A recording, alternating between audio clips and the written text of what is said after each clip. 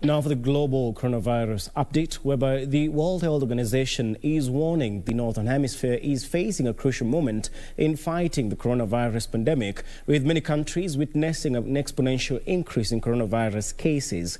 WHO Director General Tedros Adhanom is now urging leaders to take immediate action to prevent further unnecessary deaths.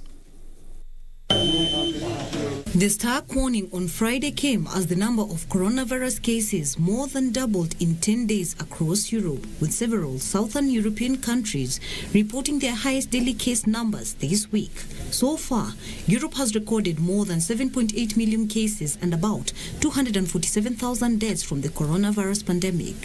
Meanwhile, the United States recorded its biggest single day rise in infections, with more than 70,000 since July on Thursday, amid concerns over a third wave of COVID 19 gripping the worst affected country in the world.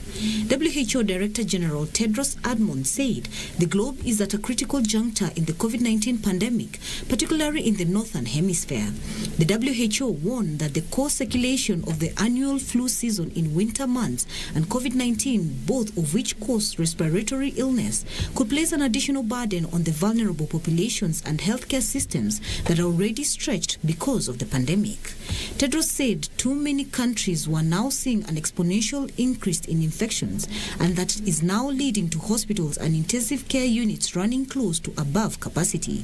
Following months long lockdowns and border closures, countries have gradually eased restrictions and reopened businesses to salvage economies crippled by the pandemic.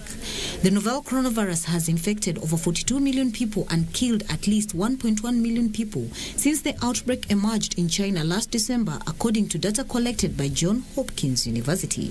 For Channel One News, I am Emily K. Bade.